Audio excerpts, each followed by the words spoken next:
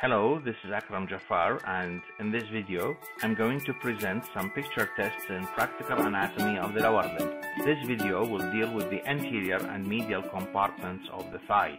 You may use the video as a revision or as a self-assessment tool. For the purpose of self-assessment, pause the video and spend some time to read the question and come up with the answer. Then replay the video to confirm your answer by listening to the comments and explanations.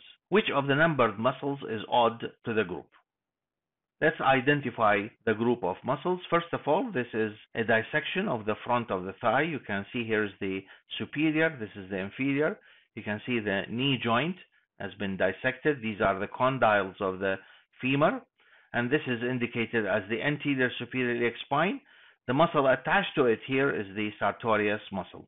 This muscle, which is narrow with parallel fibers, passes obliquely like a sash from the anterior superior iliac spine, goes medially, forms the lateral boundary of the femoral triangle here, and then it crosses the knee joint and is attached to the upper part of the medial aspect of the tibia. So this is sartorius and then here on the medial side of the femoral triangle, this is the adductor longus muscle. Then the other muscles here belong to the quadriceps femoris muscle. So we have the vastus medialis on the medial side. Then the vastus intermedius. This is not the rectus femoris. The rectus femoris has been pushed away from the rest of the vasti. You can see the patella attached here to the tendon of quadriceps muscle. So this is the vastus intermedius, and then we have the vastus lateralis muscle. Now I can say that 3, 4, and 5, they are in common because they are members of the quadriceps femoris muscle, but where is the odd muscle in the group? If we look at the sartorius muscle, sartorius muscle is also a member of the anterior compartment of the thigh. And so it has something in common with 3, 4, and 5. In addition to that, 3, 4, and 5, as part of the quadriceps femoris, they are supplied by the femoral nerve. So as the sartorius muscle, which is also supplied by the femoral nerve. If we think of the adductor longus, adductor longus is located medially. It is a member of the medial compartment of the thigh, not the anterior compartment like the other four. And in addition to that, it is supplied by the nerve of the adductor compartment or medial compartment, and this is the obturator nerve.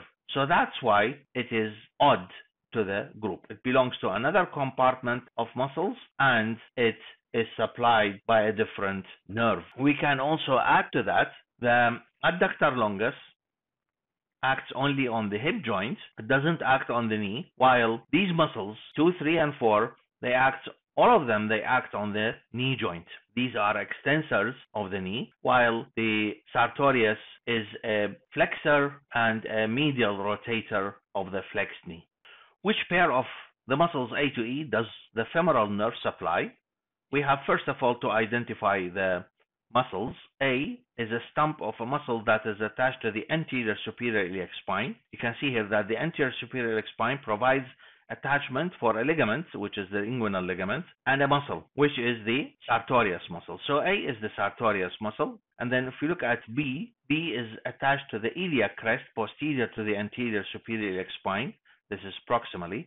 And distally, the muscle is not attached to bone. It is attached to a thickening of the deep fascia of the thigh, located laterally. This is called the iliotibial tract. It is a thickening of the fascia lata, and hence the muscle is called the tensor of the fascia lata, tensor fasciae latae muscle. And it is supplied by the um, superior gluteal nerve as the other abductor muscles. A sartorius muscle is supplied by the femoral nerve.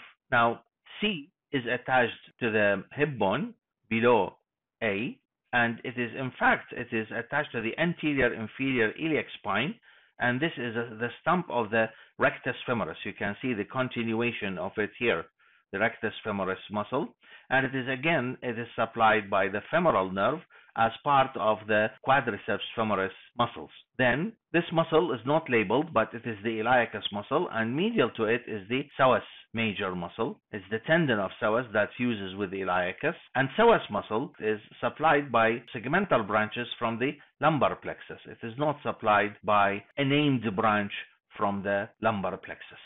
The other muscle here, which is not labeled is pectineus and then we have E which is the gracilis muscle you can see that the muscle is narrow uh, with parallel fibers and is located in the medial compartment of the thigh. This is the muscle on the contralateral side. And E, as part of the adductor group, is supplied by the obturator nerve. So the femoral nerve supplies this pair of muscles, sartorius and the rectus femoris. Identify the structure at the tip of the pointer. Name two of its branches.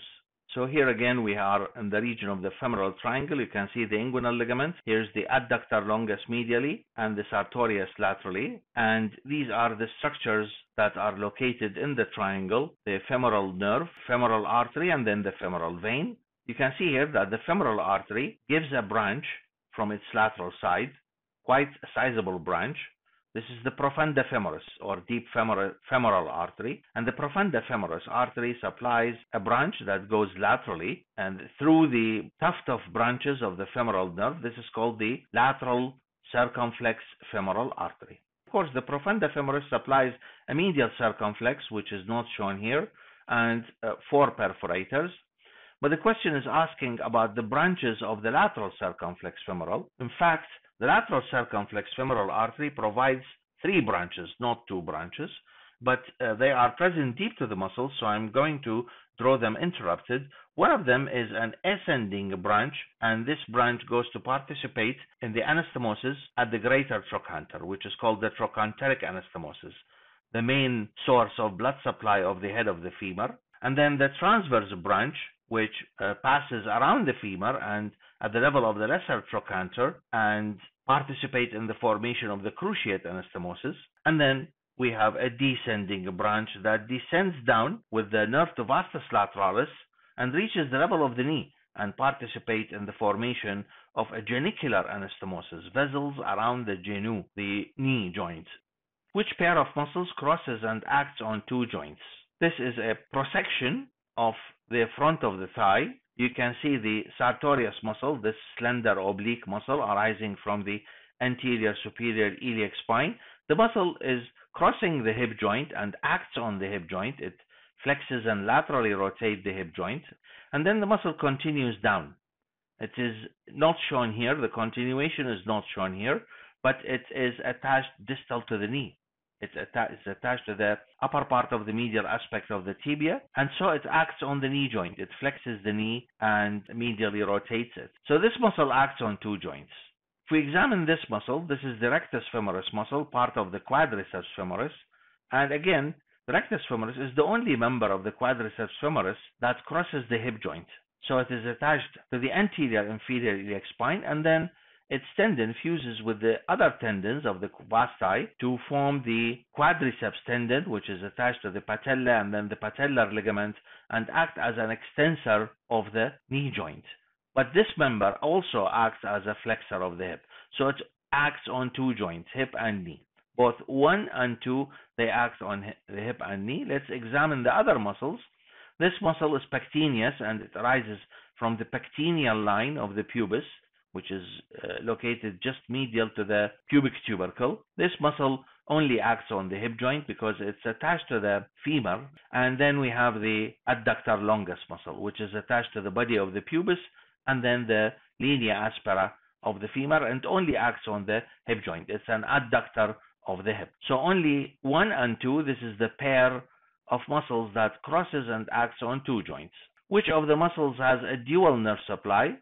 Rectus femoris is supplied by the femoral nerve, so as the sartorius muscle. Adductor longus is supplied by the obturator nerve. It's only the pectineus that sometimes receives a dual nerve supply because it's sometimes considered as part of the muscles of the anterior compartment, so it is supplied by the femoral nerve, and sometimes it is considered as part of the adductor compartment, so it is supplied by the obturator nerve, the nerve of the adductor compartment of the thigh. This is the muscle with a dual nerve supply. There is another muscle in the thigh, in the back of the thigh, which has a dual nerve supply as well, but it is not shown here. But just keep it in mind, this is the adductor magnus muscle, which has a hamstring portion supplied by the sciatic nerve and has an adductor portion, as its name indicates, which is supplied by the obturator nerve. Which pair of muscles forms the boundaries of the femoral triangle? The femoral triangle is an inverted triangle. It is, its base is located here between the anterior superior iliac spine and the pubic tubercle, and this is formed by the inguinal ligament. But the muscular boundaries, the lateral boundary is formed by the sartorius muscle, and the medial boundary is formed by the adductor longus muscle. To be specific, it is the medial border of adductor muscle. In other words, adductor longus muscle is located in the floor of the triangle because it's the medial border of the muscle that forms the medial border of the triangle. So here we can see if we are asked about the muscles in the floor of the femoral triangle from medial to lateral, they are adductor longus, which also forms a boundary, then pectineus, and then we have the psoas major and the iliacus muscle. Match each number the phrase with a letter the muscle. Each muscle may be used once or not at all. Strong contraction may result in avulsion fracture of the anterior superior iliac spine. So avulsion fractures result when a muscle contracts strongly and it will cause avulsion of the bone, fracture of the bone at the site of its attachment. The anterior superior spine provides attachment for the sartorius muscle and in this plastic model we can easily identify sartorius. This is attached to the anterior superior spine proximally. It's narrow with parallel fibers and passes obliquely like a sash to be attached on the medial side of the tibia. So the answer is B for avulsion fracture of the anterior superior iliac spine. Weakness or paralysis predisposes to patellar dislocation. Now the patella is a sesamoid bone here in the tendon of quadriceps femoris muscle. And because of the obliquity of the femur, the pull of the quadriceps femoris is upwards and laterally, so it tends to dislocate the patella laterally. What prevents lateral dislocation of the patella is the forward prominence of the lateral condyle of the femur. But the most important here is that the muscle fibers of the vastus medialis muscle, which constitutes a muscular factor in the stability of the patella. Unlike the other members of the quadriceps femoris muscle, the vastus medialis continues to be, be, fleshy until it reaches the patella. And the lower fibers are almost horizontal and they are attached to the medial side of the patella, pull the patella medially and prevent its lateral dislocation. So weakness of this muscle predisposes to patellar dislocation. Its tendon may ossify in horseback riders. This is called rider's bone. The tendon ossifies because of the continuous contraction of the muscle and the friction and the pull on the tendon. In horseback riders, the common movement that they perform at the hip is adduction of the hip. So they are going to use the adductor muscles and mainly the adductor longus muscle. So it's this tendon that is more liable to become calcified because of repeated injury. Just to identify the other muscles, C is the tensor of the fascia lata, tensor fasciae latae, and D is the rectus femoris muscle. Entrapment of which nerve is responsible for altered sensation in the blue colored area. This is a lateral side of the thigh, and the skin here is supplied by the lateral cutaneous nerve of the thigh. This nerve is a nerve on its own. It is a branch of the lumbar plexus from L2 and 3, and the nerve arises in the posterior abdominal wall, lateral to psoas major muscle, and then goes laterally to leave the pelvis just medial to the anterior superior iliac spine in the angle between the bone and the inguinal ligament. And it is sometimes passes through the inguinal ligament, and therefore it can be compressed or crushed, especially in obese people because of the tension of the abdomen on the inguinal ligament. And this will result in paresthesia and tingling sensation, pins and needles sensation on the lateral side of the thigh. The condition is called meralgia paresthetica. Match each lettered muscle with a numbered nerve supply. Each nerve may be used once, more than once, or not at all. So we have here the tensor of the fascia lata, tensor fasciae latae muscle. Note that it's attached to the iliac crest above and below it is attached to the iliotibial tract, which is a thickening of the fascia lata. This muscle is an abductor muscle and hence like other abductor muscles, it is supplied by the superior gluteal nerve. Then we have the sartorius muscle, this slender muscle that arises from the anterior superior spine and goes obliquely downwards and medially. This is a member of the anterior compartment supplied by the femoral nerve. Then C is the iliacus muscle and it is supplied by the femoral nerve but not in the femoral triangle. It is supplied by the femoral nerve as the femoral nerve is located in the pelvis. D is the pectineus muscle.